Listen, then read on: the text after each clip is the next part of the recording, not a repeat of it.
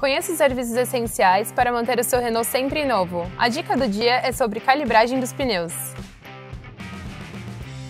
O termo calibrar se refere à regulagem da pressão dos pneus, por meio da insuflação de ar até o valor recomendado. Se você é viajante, o ideal é calibrar a cada 5 dias, e se roda mais na cidade, basta calibrar duas vezes por mês. A cada libra a menos do pneu, o consumo de combustível pode aumentar até 0,3% por quilômetro rodado.